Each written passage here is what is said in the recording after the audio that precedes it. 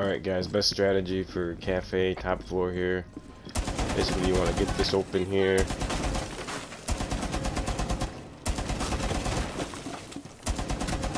And then you can hide back here and place your deployable shield. And then if anyone jumps down the skylight, you can take them out easily. So it's a nice angle to be able to just sit back here and uh, hold site.